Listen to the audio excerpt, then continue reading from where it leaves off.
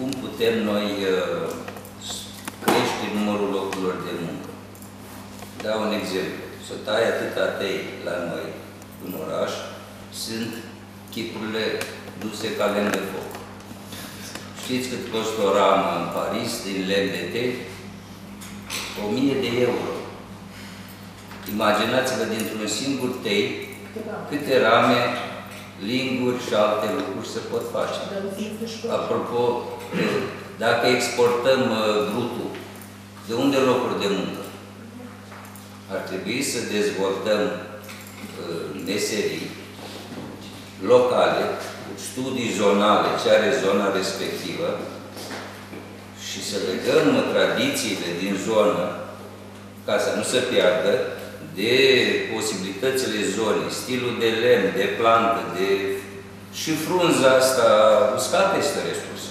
Să nu credeți că tot ce are pământul și produce sunt resurse încă neexploatate. Se pot face cercetări.